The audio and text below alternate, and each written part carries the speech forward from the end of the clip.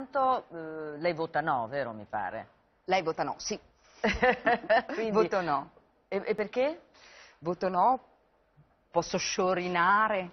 eh, voto Qual- no fondamentalmente, la, la ragione proprio principale per cui voto no è perché la- fondamentalmente questa riforma, a parte tutti gli altri argomenti che, se- che sono molto controversi, accentra le mani nel potere del governo e riduce i poteri al Parlamento. Secondo me nel nostro paese in cui abbiamo una classe politica così mediocre e scadente, il fatto che decida uno solo qualsiasi di questi è una catastrofe, è una riforma antidemocratica ed è una riforma che infatti viene fatta dietro la spinta appunto della richiesta, della- delle richieste della destra europea che vanno tutte in questa direzione, cioè essere veloci perché? Perché così poi eh, si può decidere velocemente appunto di vendere pezzi dell'Italia a privati senza parlarne abbastanza o comunque fare leggi che vanno sempre a favore dei privati e non a favore del pubblico. Quindi no.